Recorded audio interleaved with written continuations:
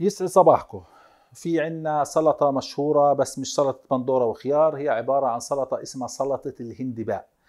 أو أوراق الهندباء بخدوها بيغلوها عشان يقلل المرارة وبعد ذلك تستخدم في سلطة أو بشكل بأشكال مختلفة في الطبخ.